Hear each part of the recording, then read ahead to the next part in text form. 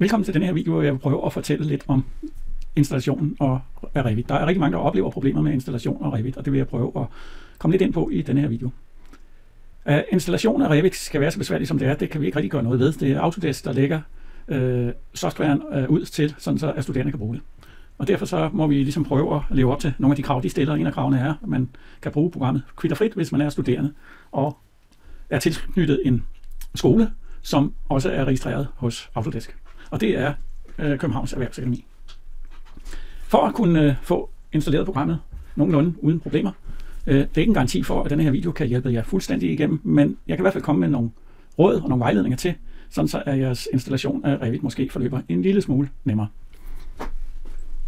Vi starter ud på fronter. Når I som ny studerende starter ind på KEA, så vil I øh, kunne tildele en hel del, eller tilgå en hel del materiale, som ligger på fronter. Fronter er det, som KIA stiller til rådighed for jer, som er den primære vej til information. Jeg ved godt, der er mange andre måder at tilgå øh, informationer på. Det kan jo være øh, via Outlook, via vi sender noget ud på mails. Det kan være via Teams, hvor der også øh, bliver lagt øh, ting og op. Men det er faktisk det primære sted, det er øh, her inde på fronter. Og det er det også, når vi så skal tilgå en vejledning for eksempel til en, en, til installation. Og i og med, at noget af det første, vi kigger på, når I kommer som nye studerende, det er, øh, hvad er det for nogle platforme, der er herinde. Og der har jeg så i år samlet det hele under introforløbet, så hvis I går op under introforløbet, eller ind her, hvor I kan sætte den lige op, som den står som studerende, sådan, så den ser ud som, som I nok vil se øh, fronter, når jeg logger ind, logger ind. I skal selvfølgelig ind og finde jeres klasse øh, herinde, og hvis I ikke kan finde den, kan I gå herop og så eventuelt tilgå den der. Men øh, på nuværende tidspunkt går ud fra, at I har fundet den, men ellers må man øh, gå herind. Der er øh, herinde, der kan man altså gå ind og finde selve øh, rummet. Hvis I ikke kan finde det der, så prøv at gå ind under startside og klik på rum her. Så skulle I gerne kunne se de rum, som der er tilgået, og som er stjernemarkeret, det er dem, jeg har markeret her. Øh, hvis I ikke kan finde det, så prøv at se, om I kan finde det hernede. Og igen er det det her rum, som er gældende for første semester. Det meste af det, når det drejer sig om undervisning eller øh, oversigt over information, jamen, dem vil I se herude på oversigten. Lige så snart det drejer sig om de enkelte fagplaner eller noget undervisning, der bliver lagt op, så vil det ofte være inde under planer, I skal gå ind. Og inde under planer, der kan man altså gå ind og, og vælge, hvad er det for et fagemne, hvor det hører til hen, og der har I fået noget information under introforløbet, som vedrørende computer og IT, og det ligger altså allerede hernede. Så hvis I går ind under introforløbet, så vil I kunne se, at der står computer, IT og software. Her har jeg så lagt alle de link ned, som blev gennemgået, og også nogle links, som ikke blev gennemgået, men de alle sammen ligger hernede. Det er mange af de links, som I får brug for igennem studiet, de ligger altså her. Der vil også være link til nogle pdf-filer, som ligger her, og en af de pdf-filer, som jeg vil gennemgå og bruge i denne her øh, video, det er installationen af Revit eller andre software, fordi der er også andre software, der bliver brugt her. Jeg har samlet det, fleste af, det meste af det software, der bliver brugt her på den her uddannelse, bygningskonstruktøruddannelsen, de ligger altså hernede. Denne her fil vil blive opdateret øh, løbende, så jeg ændrer ikke navnet, det vil sige, hvis jeg ikke ændrer navnet, så er sidst, jeg har lavet en, en, en revision, det er den første i første, men den er altså redigeret nogle gange øh, senere, der kan sige, at der kommer nogle versioner, og de versioner ligger inde i filen. Så når I åbner den her, så kan I tilgå den her, og så kan I åbne den via OneDrive, eller I kan læse den direkte øh, her på siden. Jeg har åbnet den i min PDF-viewer, fordi der er kvaliteten noget højere, som I vil kunne se. Og det kan I også gøre. Som jeg var inde og fortælle lidt om, så er der en versionering af det, og de versioner kan I se her, og der skriver jeg så, når der er, er ændret noget. Man må også kunne se datoen på den, og det er allerede her i dag, hvor jeg laver den her video, der har jeg altså også været inde og ret i den her, og der har jeg lavet nogle små rettelser. Jeg vil anbefale, når man går til installationen af Revit, at man følger denne her nøje. Hvis der er problemer, jamen så har vi, øh, så har vi et bilteam på KEA, og der kan I ret henvendelse til, øh, til selve bilteamet der og få hjælp. Der er en indholdsfortegnelse, som man kan klikke på, hvis der er noget, man skal tilgå hurtigere, så jeg anbefaler, hvis der er et eller andet, I lige skal vide om Bluebeam, Sigma eller noget andet installation af MS Project så brug øh, øh, denne her indholdsfortegnelsen. Før man ligesom går ind og installerer software, så kan der være nogle krav til computeren, det kan man læse om. Men det her, der kan jeg så altså klikke på det her link og åbne øh, derinde. Øh, der er også en ting, jeg øh, siger, man skal ligesom sørge for, det er, at man kan se øh, skjulte øh, filtyper og elementer, og det gør man ved at åbne sin stifinder, og så gå ind og klikke på vis, og så sætter man en flueben de to steder her. Så anbefaler jeg også, når man læser det her, man læser et helt afsnit igennem ad gangen, og inden man ligesom går i gang. Og især det her med Revit, fordi der er mange faldgrupper. Der er også meget tekst, og det er fordi, det er ikke nemt. Man kan også læse ud på nettet, hvis man googler sig frem til, at der er mange, der har rigtig meget problemer med det her. Det er ikke blevet nemmere, og det er det næsten ikke med noget som helst IT. Det bliver mere og mere avanceret. Der kommer flere og flere og mere og mere avancerede programmer, det giver også flere og flere fejl og flere og flere opdateringer. Og ja, man kan jo sige, at der er jo ikke så meget at gøre ved det. Øh, med EDB er det jo nærmest sådan, at, at man øh, skal være sin egen øh, mekaniker. Det hvis man forestiller sig, at du er en bil, jamen, så er de første biler, der skulle man nok også nærmest sørge for selv at holde ved lige, og sådan er det stadigvæk lidt inden for computerens verden.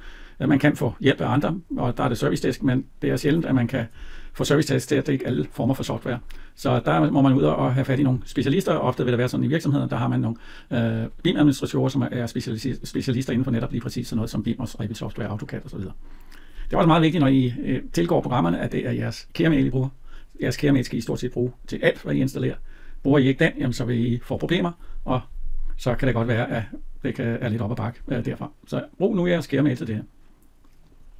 Der er nogle faldgrupper undervejs, og dem bliver nævnt lidt om det, øh, lidt, øh, om det her, hvor man kan se, at, at man skal vælge blandt andet Københavns Erhvervsakademi. Det er en af de ting, når man skal registrere sig, og at man også vælger Danmark som land, plus at man også vælger University Post-Secondary øh, under institutionstype. Inden man følger denne her registrering, som man skal som noget af det første, så vil jeg anbefale, at der er to videoer, man ser.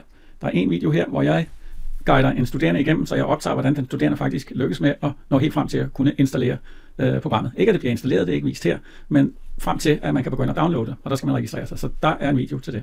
Så noget af det, der bliver vist hernede af øh, til igennem alt det her, det er simpelthen bare for at kunne oprette en konto inde på Autodesk, at man også kan blive verificeret, så man får rettigheden til at bruge deres program. Og der kan muligvis opstå nogle problemer undervejs, og øh, det er også beskrevet i den video, som Autodesk øh, viser. Den ligger her. Så man, hvis man klikker på det link, så kan man åbne øh, den her video. Det har jeg gjort. Den ligger herude. Øh, og man kan tilgå den ved at klikke her. Og så kan man øh, se videoen direkte derinde, men jeg har gjort det, jeg har åbnet den i YouTube, så den samme video, man ser her. Og hvis man øh, bladrer lidt igennem den video her, så er der på et tidspunkt øh, øh, her, øh, hvor videoen øh, nævner noget om, at hvis ens skole ikke dukker op her, så øh, kan man øh, tilmelde sin skole øh, her, og det skal I ikke gøre. Så i den her video, der skal I ikke tilmelde skole, for skolen skal dukke op, når I er derinde. Noget af det første, man, man gør, hvis man ikke øh, har oprettet en konto, det er, at man øh, kan lave, trykke Create Account. Og det hele det kommer faktisk af, at når man står øh, inde under sin konto her, øh, så kan man øh, gå ind og sige øh, Get Started, følge den her. Man kan også gå ind og prøve at bare trykke Sign In her. Og nu er jeg jo øh, en del af det, så jeg, jeg skal jo ikke oprette en konto, men hvis det er jer, så kan I trykke det, der hedder Account her. Det er også det, der ligesom bliver øh, vist her. Hvis jeg bladrer lidt videre i videoen, så bliver der spurgt om, hvilket øh, tilhørsforhold, hvilket land man er. Og øh, der bliver også vist, om man er studerende. Det skal I selvfølgelig vise, at der skal stå Danmark. Og så er der studerende, den er det samme, men så står der institutionstype. Og der skal I så vælge det, der bliver vist øh, her. Der skal I også vælge det, der hedder University Post Secondary. Det er ret væsentligt, det skrev jeg også i min øh, manual. Så skal den bruge jeres fødselsdato, hvad Autodesk skal bruge den til. Det må guderne vide, men altså den øh, skal I tage ind, og det her der er altså ikke noget, I kan, ja, I kan godt øh, lade være med det, men så får I altså ikke lov til at bruge programmet.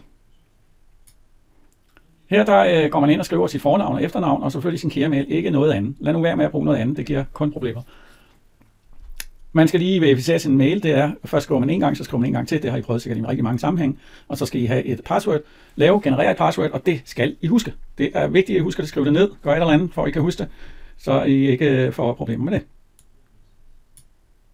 Så skal man, øh, får man en, en øh, tilsendt en mail, og den skal man sørge for også at bekræfte. Og så går man ind og vælger, på et tidspunkt skal man vælge, hvilken skole det er, og der skriver I det, som jeg har skrevet i manualen, og det er Københavns Erhvervsakademi, parentes kære.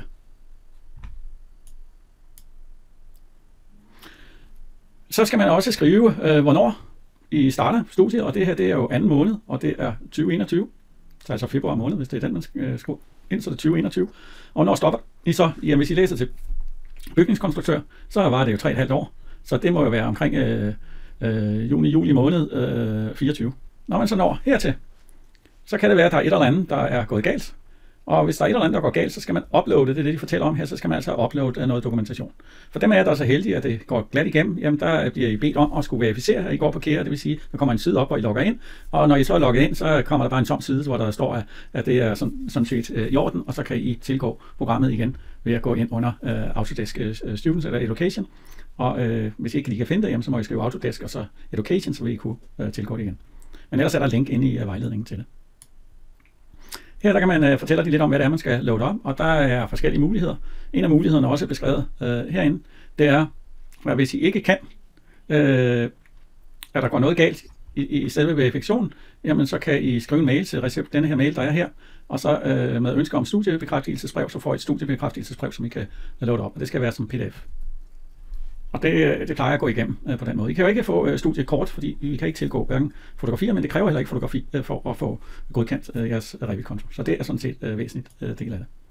Her fortæller de lidt mere om den del af det. Og når man så er nået igennem øh, det her, jamen, så har man øh, adgang til det, der hedder Autodesk Education, et EU-software, og det kan man så tilgå ved at logge på. Det kan jeg jo så vise her, så der logger man på. Sådan her. Så øh, går man ind, så vil man logge ind.